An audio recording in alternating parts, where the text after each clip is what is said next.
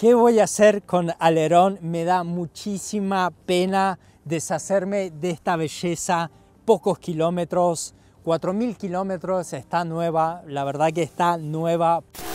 Acaban de presentar la moto más esperada para este 2025, la nueva BMW S1000RR una locura. En este nuevo modelo los ingenieros alemanes mantienen la misma potencia, 210 caballos y también el par motor de su hermana del 2024. Eso sí, el precio sube 23.850 euros aquí en España. No te olvides, Precio y calidad, la mejor opción. Este nuevo misil tiene nueva cara y la verdad para mí personalmente es la moto S1000RR más bonita que pudieron sacar. Prácticamente el frontal es nuevo y tiene los nuevos alerones que son donados de la M1000RR del 2024. Son muchísimo más grandes y más bonitos que estos. El guardabarro frontal también cambia, ahora tiene entrada de aire. Y también volvieron las branquias de tiburón que en este modelo desaparecieron. Ahora es una moto más agresiva, más deportiva, más musculosa, pero los mandos y la pantalla es igual que esta. La quilla de abajo, el caño escape, el asiento, el tanque de combustible, el colín, el basculante, prácticamente es igual, no cambió nada. En esta nueva edición llega con tres colores,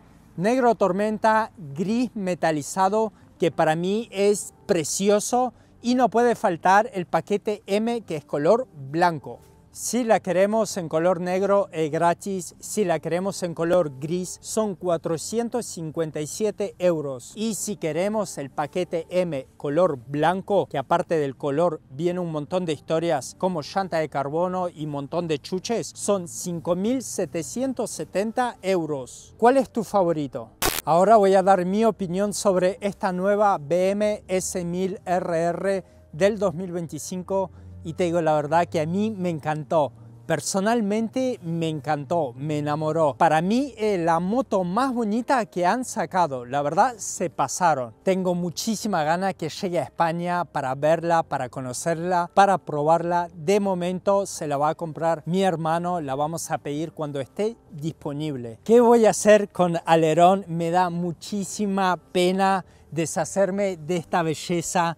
Pocos kilómetros, 4.000 kilómetros, está nueva, la verdad que está nueva. Es una moto que le di muy poco uso, solo los fines y si hace buen tiempo. Y la verdad que me da muchísima rabia deshacerme de esta moto. Bueno, la tengo que publicar, también la puedo eh, llevar a la BM y dar parte de pago para eh, traerme la nueva. Pero bueno, todavía estoy pensando porque hay cosas que me echan para atrás de esta nueva BM y todavía voy a esperar un poquito que la tenga mi hermano, la voy a probar bien y la voy a comparar a ver si vale la pena hacer ese cambio o esperar el próximo modelo que salga. Te voy a decir las cosas positivas y negativas de esta nueva S1000RR del 2025. Primero el color. Tenemos los tres colores que te dije, negro, gris y blanco. El negro es un color vacío, prácticamente es muy soso, no dice nada. El color gris, hay que pagar 457 euros, es un precio bastante bien porque es un color bonito y es un color metalizado. Pero ¿cuál es la cuestión? Que no tiene pegatina también, lo veo un color bonito, pero no es para esta moto, no es un color deportivo, no sé, a mi gusto como que le faltan unos stickers, le falta, no sé, algo más llamativo para una moto así, para una RR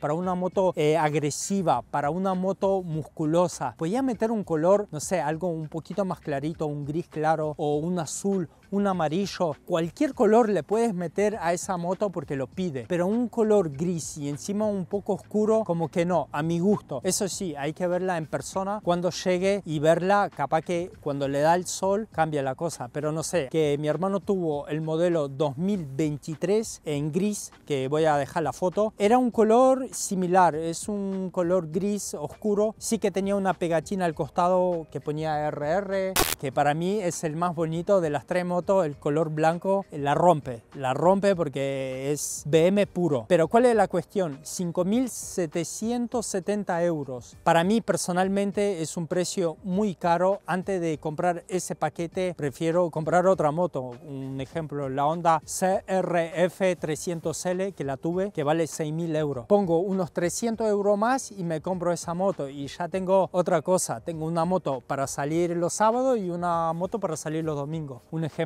No invertiría ese dinero para comprarme el paquete M.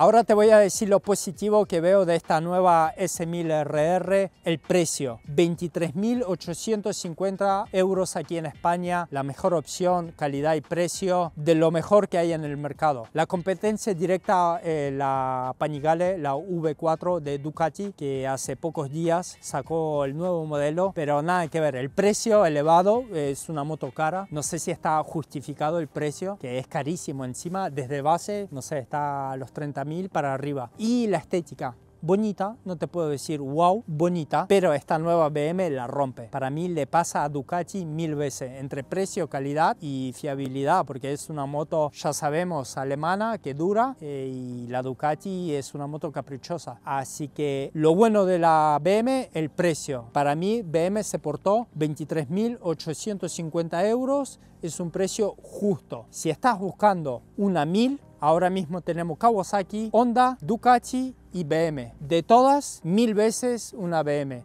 Sin pensar, mira lo que yo te digo.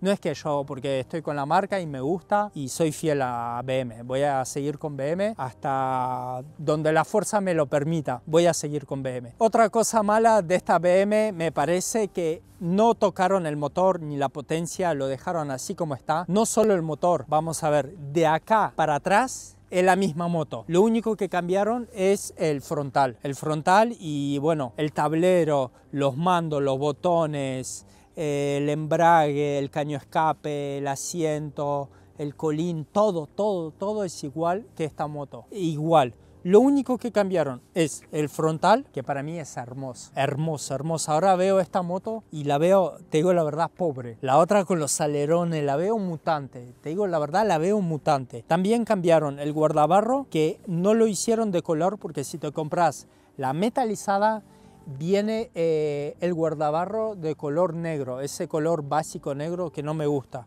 Lo podían hacer de la misma moto del color como esta que es rojo, rojo. Estirarse un poquito más y pintar el guardabarro para que quede bien chulo. Bueno, no nos vayamos del tema, tienen entrada de aire que la verdad que queda muy bonito, me gusta, me gusta bastante. Cambia prácticamente es otro. Tiene como dos entraditas y queda súper deportivo.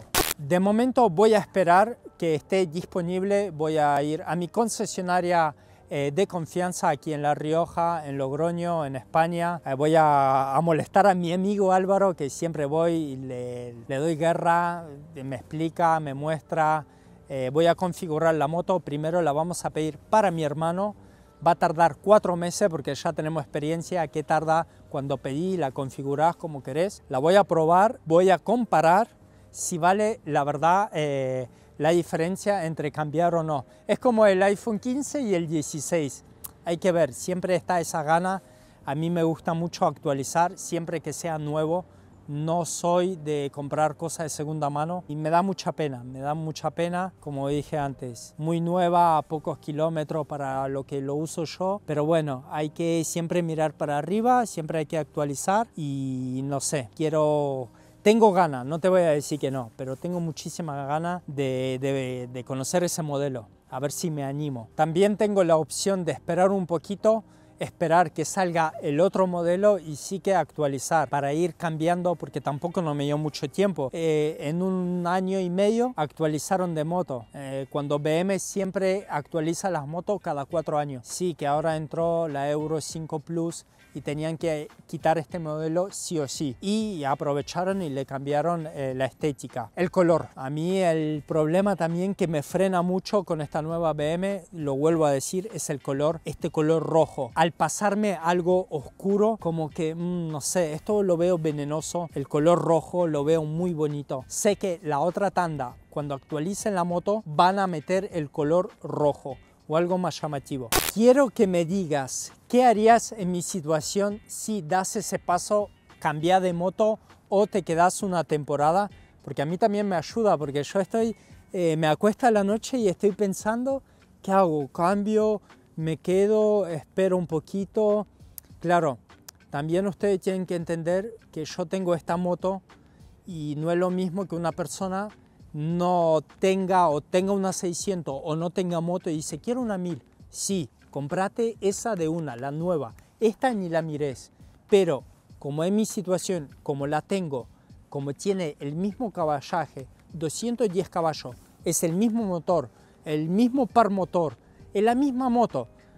A mí me pone la otra moto, voy a manejarla, voy a salir de ruta y va a ser lo mismo.